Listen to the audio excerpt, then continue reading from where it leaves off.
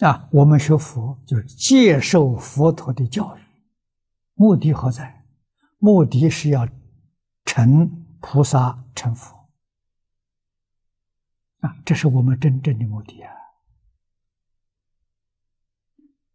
成菩萨、成佛，把自己的问题解决了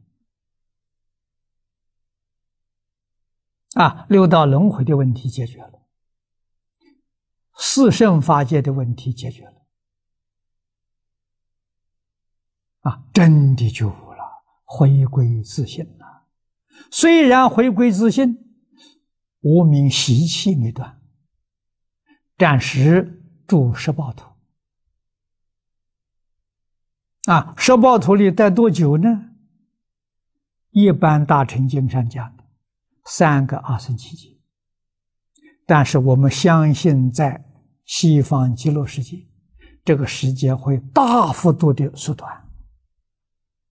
啊，可能一个二生期间都不需要，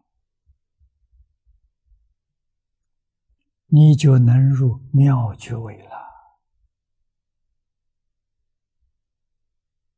啊，这个好处是弥陀加持的。弥陀怎么加持？我们现在读的这个经，《发大誓愿》第六这一篇经，四十八愿啊，这四十八条，我们只要一往生到极乐世界，每一条都是我们自己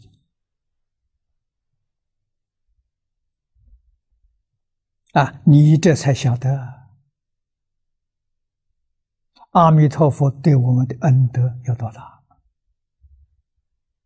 有多么殊胜啊！其他宗派、法门都没有这么殊胜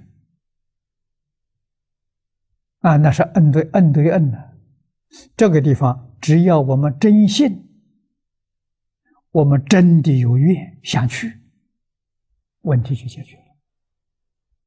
啊，欧耶大师在要解里面讲的好啊，能不能往生，决定在信愿之有。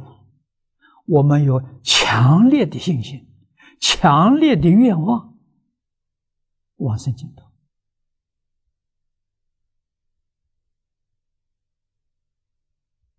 这比什么都重要啊！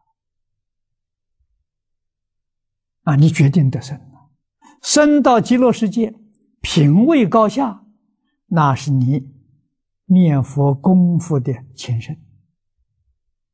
前身不是多少，这个要注意。前身受破了，就是放下。你放下的多，你往生品位就高；放下的少，往生品位就低，就这么意思。功夫在放下了，啊，不再执着了，不再分别了，啊，身体住在这个世界，就像我们今天住旅馆一样，啊，旅馆样样可以受用，但是没有一样东西是自己，你不会留念它，啊，明天走了，干净利落就离开了，你说这个多潇洒了。我们要学着离开六道轮回，离开娑婆世界，就像我们旅游的时候离开旅馆一样。啊，那个品位就高了。所以看破很重要，啊，看破是智慧，放下是功夫，啊，看破帮助你放下。放下，帮助你看破。啊，佛法的秘诀就在此地，非常简单，从初发心到如来地，啊，就这么回事情啊！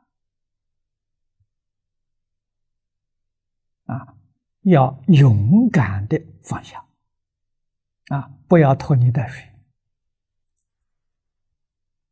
啊，放下之后，智慧就开了，你才晓得放下的好处啊！啊，放下的自在。